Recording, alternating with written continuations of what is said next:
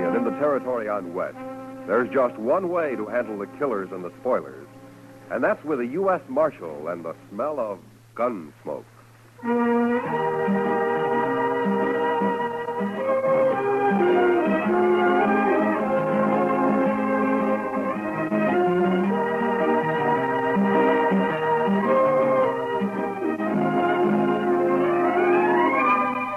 Gunsmoke, starring William Conrad. The story of the violence that moved west with young America. The story of a man who moved with it. Matt Dillon, United States Marshal.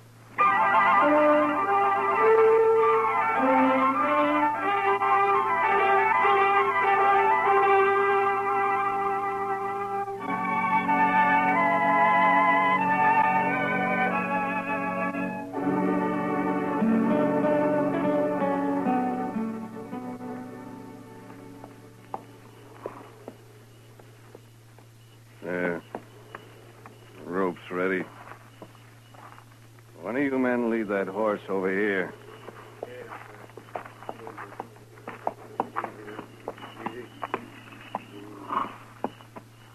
All right. Let me get this noose around your dirty neck, and you'll be swinging in no time. There. Not too tight, is it?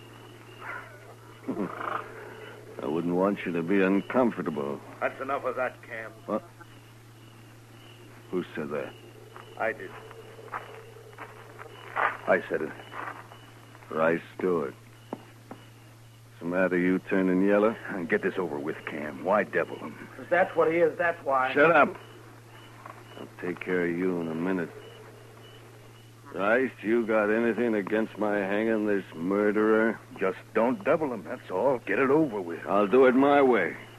It's my brother he shot, isn't it? And in the back, too.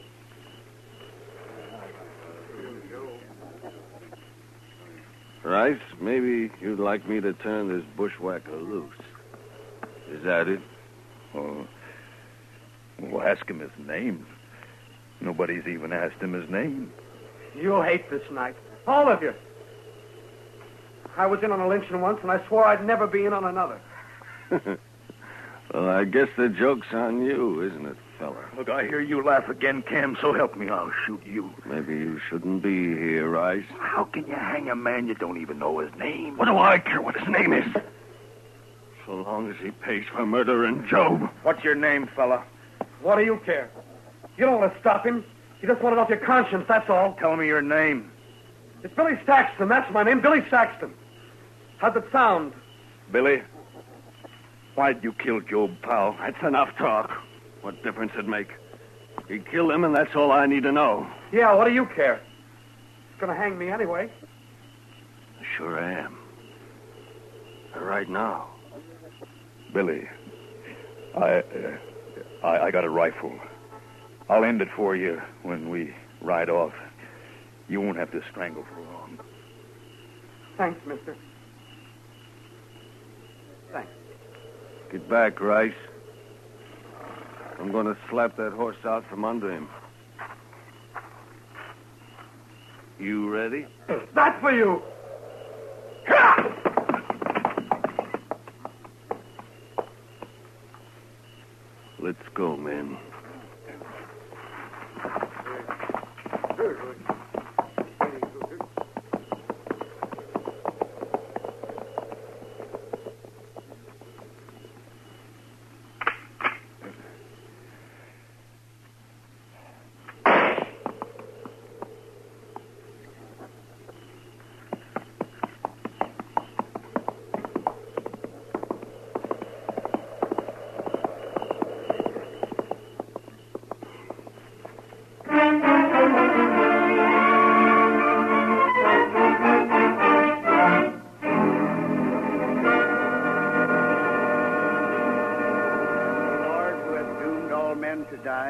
But has concealed the hour of their death, grant that we may pass our days in the practice of holiness and justice, and that we may be able to quit this world in the peace of a good conscience. Amen. Amen. May Job Powell rest in peace. Amen. Amen. Go ahead, boys.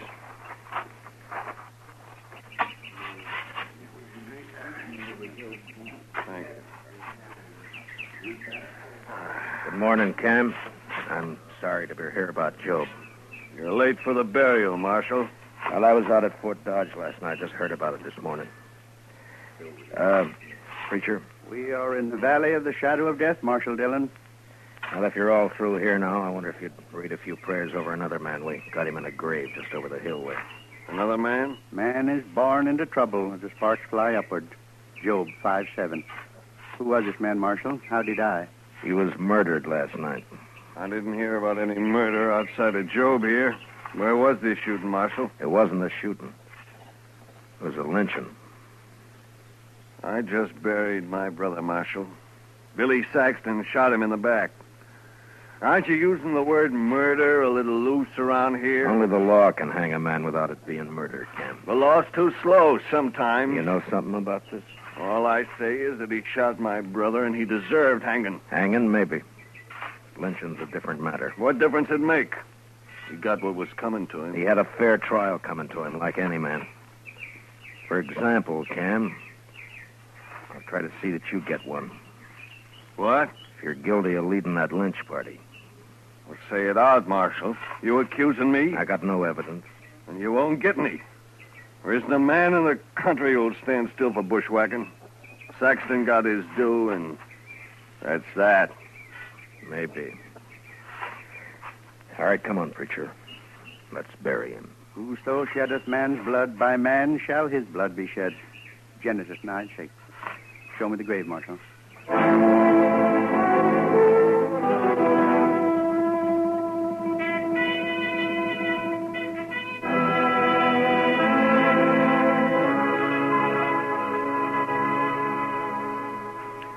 Why don't you just arrest Cam Powell, Mr. Dillon? Yeah, he won't admit anything, Chester, and I can't find a witness. Must be somebody who'll talk. Cam's a bigger man than ever now, with Job dead. The others don't want to cross him. Hmm. He owns a lot of land, all right. And Job also owned a piece of the bank. Cam will get that now. Ranchers always need money, so they won't talk. Yes, and maybe they're ashamed, too, Mr. Dillon. Yeah, maybe. I saw lynching once, and not a man there could look in the eye for a long time afterwards. You weren't in on it, were you, Chester? Oh, my gracious, no, Mr. Dillon. I was just a small boy. That was back in Waco. They hung a cousin of mine there. No? Why? Well, sir, it's kind of hard to explain. He was about as honest a fellow as I ever knew, outside of some loose notions about other people's cattle. But, Mr. Dillon, I just don't believe that struck him as stealing. Why not? Well, because there wasn't anything personal about it, if you know what I mean. Well, I don't, but maybe you can explain it to me. Well, sir, it's just that there was all those cattle running loose on the plains, and I guess they seemed like a natural part of the landscape to him. He figured anybody could own them. Your cousin wasn't very bright, was he, Chester? I didn't know him well enough to say, Mr. Dillon. But anyway, they shouldn't have lynched him. No. No, they shouldn't have. And nobody's going to get by with lynching around Dodge if I have anything to do with it. No, sir. I heard Billy Saxton was at the Texas Trail last night. Maybe I can start there. He sure must have hated Job to kill him like that, Mr. Dillon. Yeah. I'll be back later, Chester. Yes, sir, Mr. Dillon.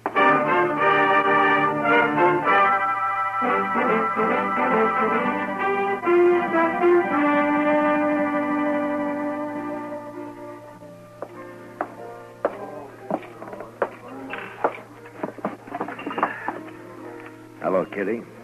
Hello. Well, I can remember when you'd give me a smile. What's the matter? Nothing, Matt. Someone been bothering you? You might put it that way. Where were you last night, Matt? Why weren't you around? Yeah, Chester and I rode out to Fort Dodge on business. It was late, so we slept there. I, I thought this town could go one night without trouble. You sure thought wrong, didn't you? You're upset about the lynchings, did. That's it. Aren't you? I heard Billy Saxton spent some time in here yesterday. I hate men. I think they're awful. Savage beasts. It'd be worse if it weren't for the law, Kitty. Now tell me about Saxton. He could tell you himself, Matt, if you hadn't picked last night to wander out of town. now,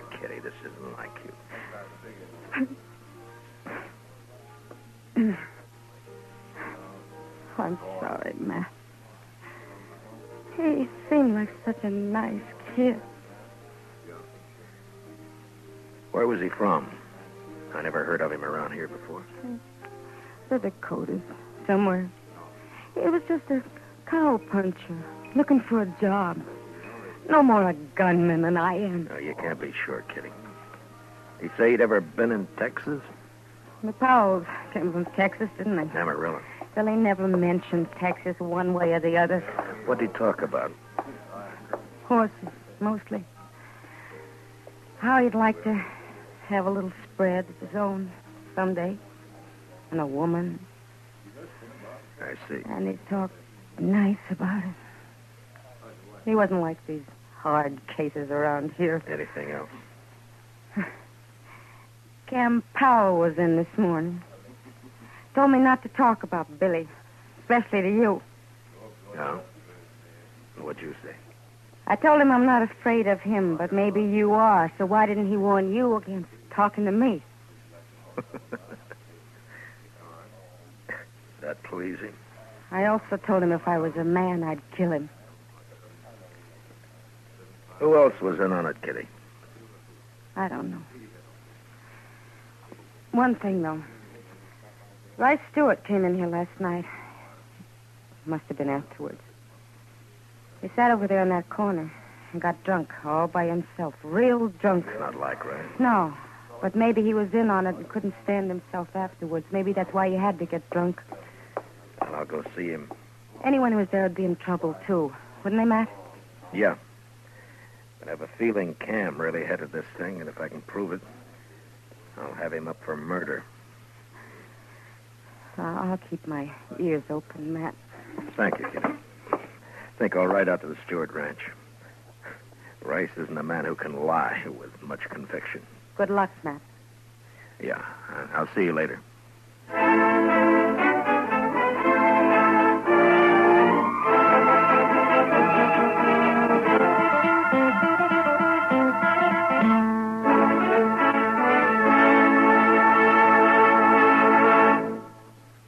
Return for the second act of Gunsmoke in just a moment. But first, do you know how old the school building in your community is? If it's over 25 years old, the chances are that it's woefully inadequate to the present demands on it. Join with the groups in your community working for better school conditions. Remember, better schools build a stronger America. Now, the second act of Gunsmoke.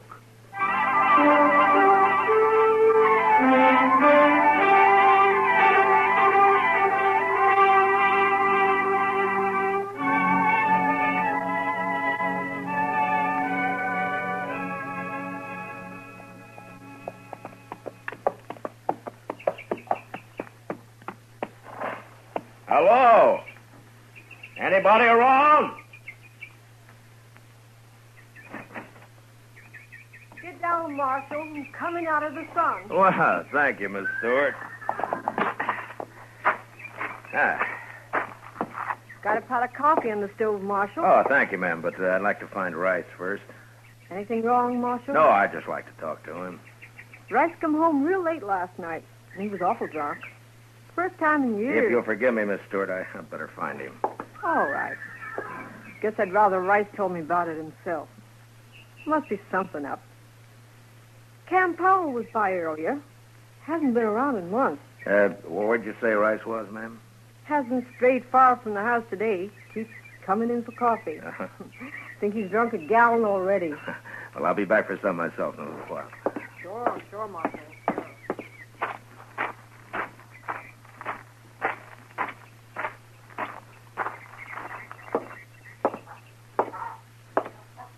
Rice? Rice, you in here? I'm here.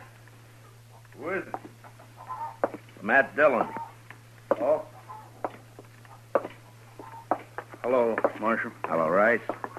Can I uh, take a little of your time? I'd ask you up to the house, Marshal, but I think I'd rather talk here. Uh, Miss Stewart already asked me in.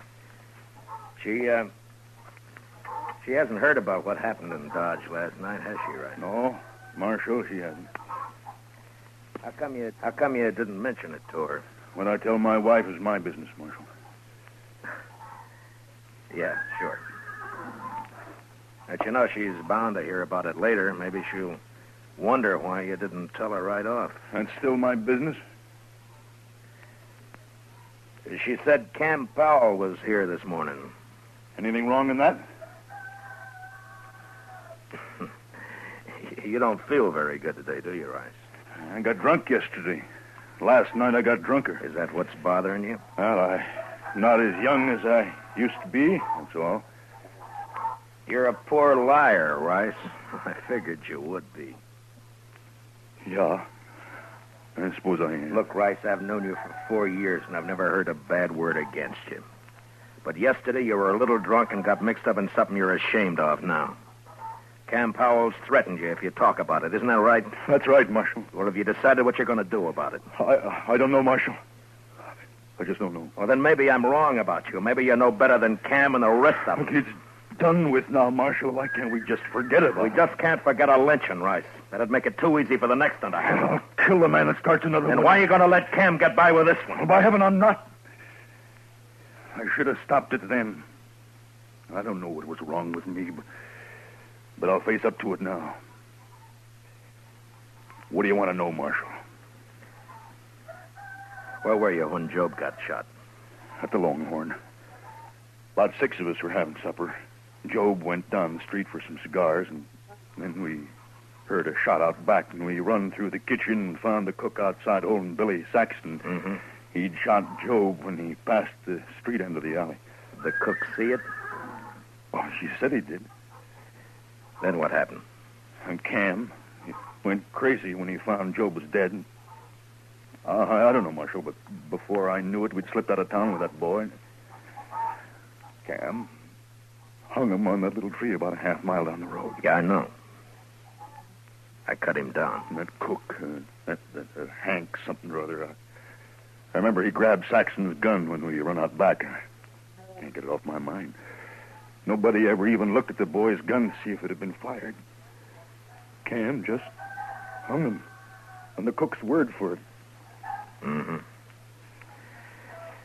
All right, Rice. Thank you. Um, will you be a witness if I need you? I'll see you through now, Marshal. All the way. Oh. I feel better already. All right. Let's go get some of your wife's coffee, Rice. Then I got to get back to Dodge. It's good coffee, Marshal.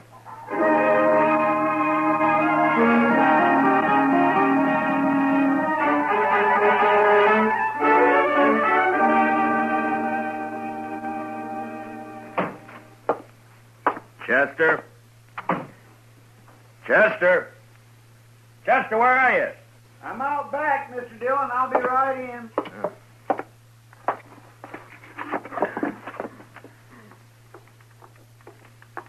What? What's that you've got all over you? Paint, Mr. Dillon. White paint. Paint. Well, where'd you get it? Now, what are you up to now, Chester? I sent St. Louis for it, sir. I thought it'd be a good idea to make the hitching rail out back all white. Well, what for? Well, sir, we might be in an awful big hurry some night, and that. Uh, all, all right, rail is- Chester. All right, all right. Look, uh, I, I want you to go get cleaned up. I, I want you to have supper at the Longhorn tonight. Well, I sure do thank you, Mr. No, Dillon. no, no, Chester. I, I want you to go there alone. Oh. Yes, sir. It's for a reason. Do you know the cook over there, Hank uh, something or other? That's Hank Ashford. He's not a very good cook, Mr. Dillon. How long's he been around? Oh, about a week. I don't think he likes cooking much. He don't seem to be very willing either. Well, it doesn't matter. I doubt if he'll be around for long. Why not, sir?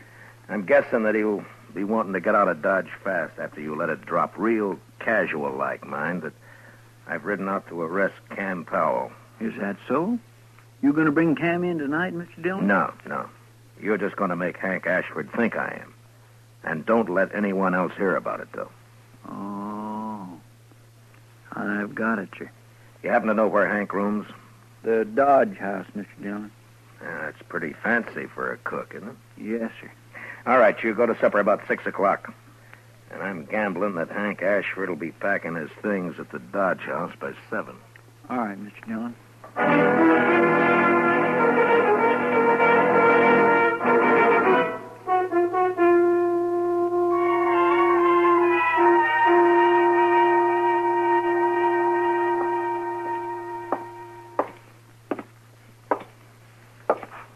Oh, evening, Marshal. Evening, John. Uh, hope you're not looking for a room. We're all filled up. Texans, mostly. Well, that's fine. What room's Hank Ashford got? 310, Marshal. Top of the stairs, straight down the hall. Uh-huh. Hey, uh, you been up to anything? Looked to be in a mite of a hurry when he come in. He's here now? Went upstairs just a couple minutes ago. Yeah. Something up, Marshal?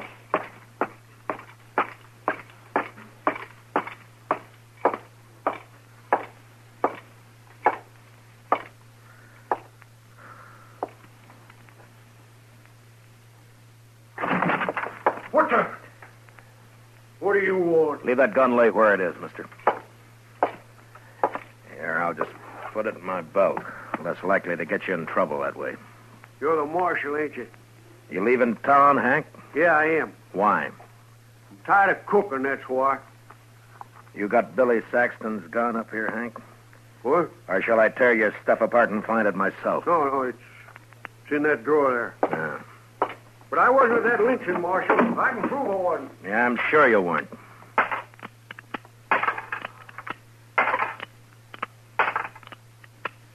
Yeah, all the shells are here. And the barrel's clean. I thought this gun killed Job Powell. It did. I cleaned it, that's all. You're pretty neat, Hank, for a hash house cook. Yeah, catch this. Now what? And you handle that gun pretty well, too, for a cook. Look at the way you're holding it now. I don't want that gun. What are you trying to prove, Marshal? You're a gunfighter, not a cook, Hank. All right, Marshal. I used to handle a gun, but I'm looking for the peaceful life now. Any law against a man changing? No, but you're under arrest anyway. What for? I'll think of something. Let's go.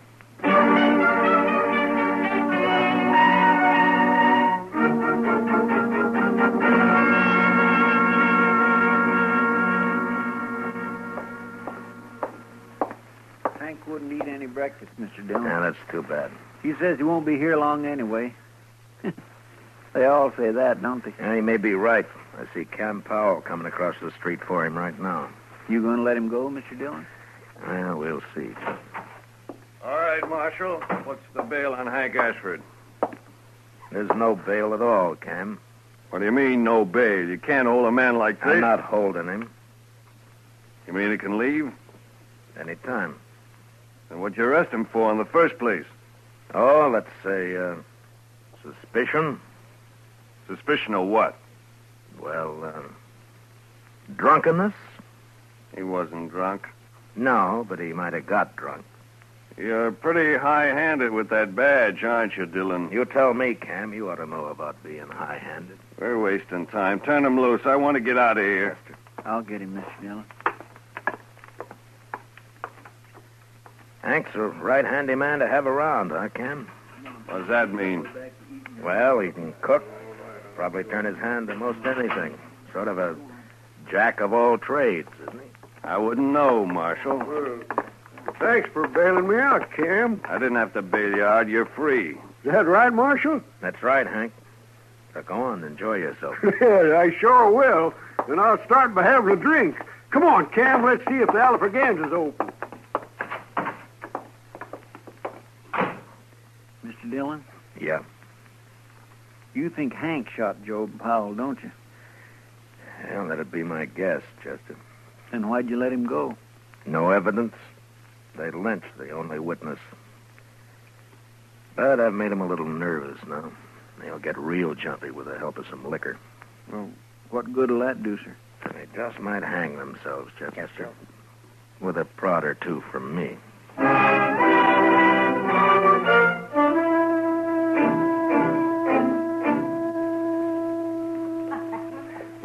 Well, come on. Let's uh, well, yeah. Are you still here, gentlemen? May I buy you a drink? What are you doing here, Marshal? Why do you want to buy us a drink? Yeah. Uh, bartender. Uh, Philip, give me that bottle there, will you? Cam, Cam, I don't like this. Let's get out of here. Wait a minute, Hank. I'm too big a man in Dodge to get pushed around by any marshal. I just want you to have one drink before you leave, gentlemen. Well, just one. It's for you, Cam. And for you. Thanks. Yeah. Well, gentlemen, here's to May he rest in peace. Billy Saxton. You looking for trouble, Marshal?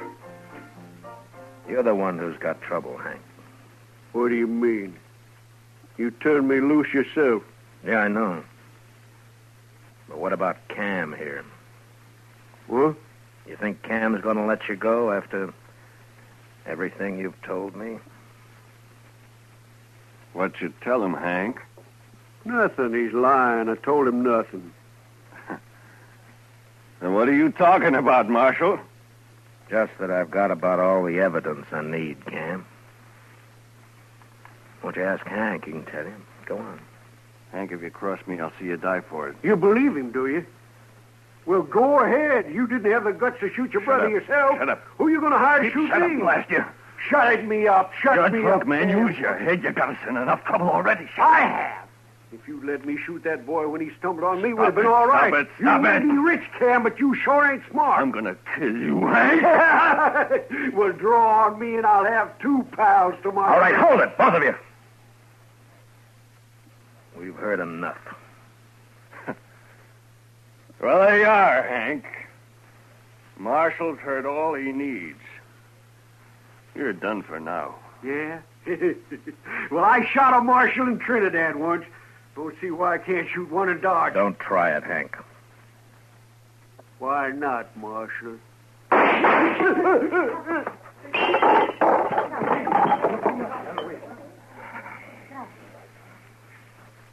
Good riddance. You're under arrest, Cam. Hank shot Job Marshalls. You heard him say so. I heard him, but I'm still interested in who murdered Billy Saxton. And you're right back where you started, Marshal. Seems nobody knows about that lynching. I know about it. Rice, Stewart. I'm not proud of it, but I was there. I witnessed the whole thing. I'll take your gun now, Cam. I guess you win, Marshal. Nobody wins this time, Cam. Now, maybe the next time anybody gets an idea about lynching a man around here, they'll think twice. Now, you lead the way.